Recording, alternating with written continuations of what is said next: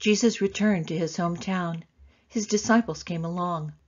On the Sabbath, he gave a lecture in the meeting place. He stole the show, impressing everyone. We had no idea he was this good, they said. How did he get so wise all of a sudden, get such ability? But in the next breath, they were cutting him down. He's just a carpenter, Mary's boy. We've known him since he was a kid. We know his brothers, James, Justus, Jude, and Simon, and his sisters. Who does he think he is?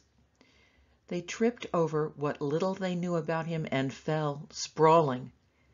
And they never got any further. Jesus told them, a prophet has little honor in his hometown, among his relatives, on the streets he played in as a child. Jesus wasn't able to do much of anything there. He laid hands on a few sick people and healed them, that's all. He couldn't get over their stubbornness. He left and made a circuit of the other villages teaching.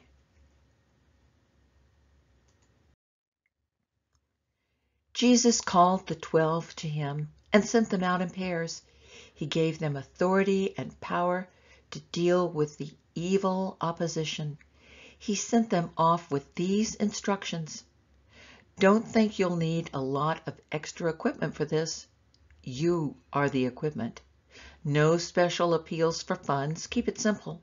And no luxury inns. Get a modest place and be content there until you leave. If you're not welcome, not listened to, quietly withdraw. Don't make a scene. Shrug your shoulders and be on your way. Then they were on the road. They preached with joyful urgency that life can be radically different. Right and left, they sent the demons packing.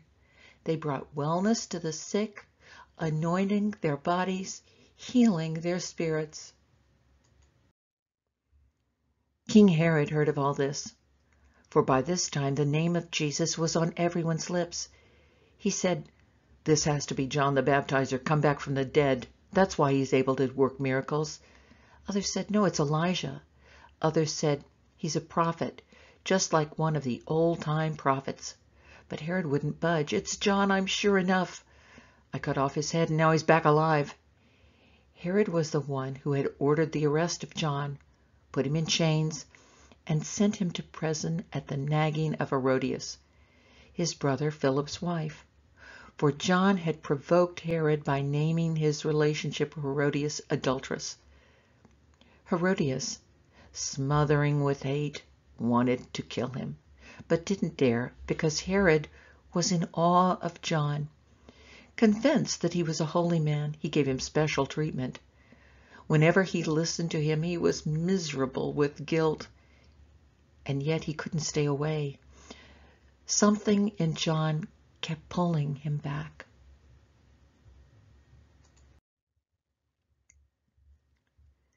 But a portentous day arrived when Herod threw a birthday party, inviting all the brass and blue bloods in Galilee.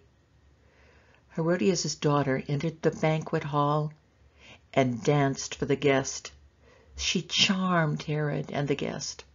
The king said to the girl, Ask me anything, I'll give you anything you want. Carried away, he kept on. I swear I'll split my kingdom with you if you say so. She went back to her mother and said, What should I ask for? Ask for the head of John the Baptizer. Excited, she ran back to the king and said, I want the head of John the Baptizer served up on a platter, and I want it now. That sobered the king up fast.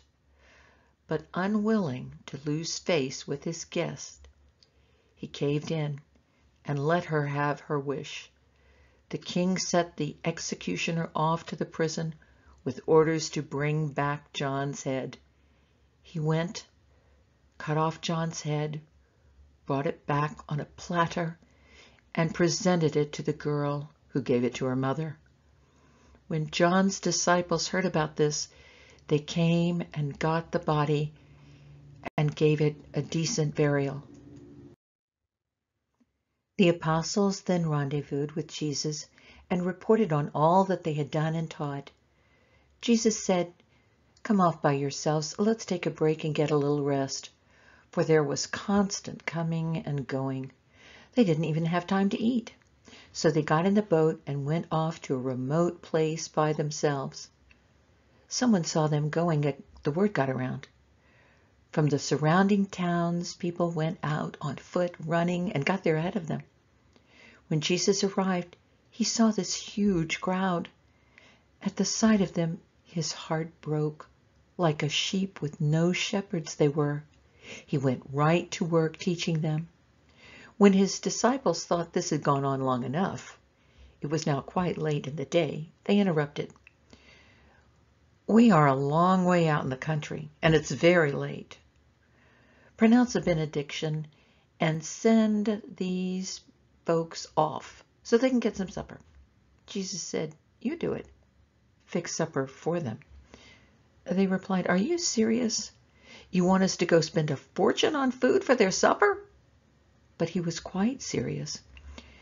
How many loaves of bread do you have? Take an inventory. That didn't take long. Five, they said, plus two fish. Jesus got them all to sit down in groups of fifty or a hundred. They looked like a patchwork quilt of wildflowers spread out in the green grass.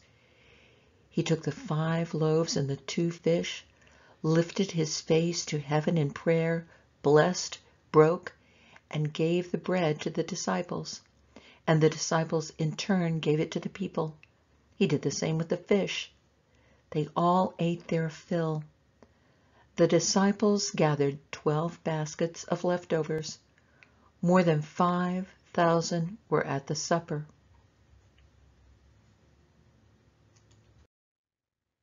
As soon as the meal was finished, Jesus insisted that the disciples get in the boat and go on ahead across to Bethsaida while he dismissed the congregation. After sending them off, he climbed a mountain to pray. Late at night, the boat was far out at sea. Jesus was still by himself on land.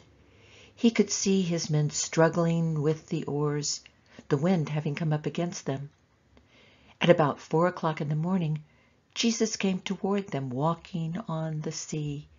He intended to go right by them, but when they saw him walking on the sea, they thought it was a ghost and screamed, scared to death. Jesus was quick to comfort them. Courage, it's me. Don't be afraid. As soon as he climbed into the boat, the wind died down. They were stunned, shaking their heads, wondering what was going on. They didn't understand what he'd done at the supper. None of this had yet penetrated their hearts. They beached the boat at Gennesaret and tied up at the landing. As soon as they got out of the boat, word got around fast. People ran this way and that, bringing their sick on stretchers to where they heard he was. Wherever he went, village or town or country crossroads, they brought their sick to the marketplace and begged him to let them touch the edge of his coat. That's all. And whoever touched him became well.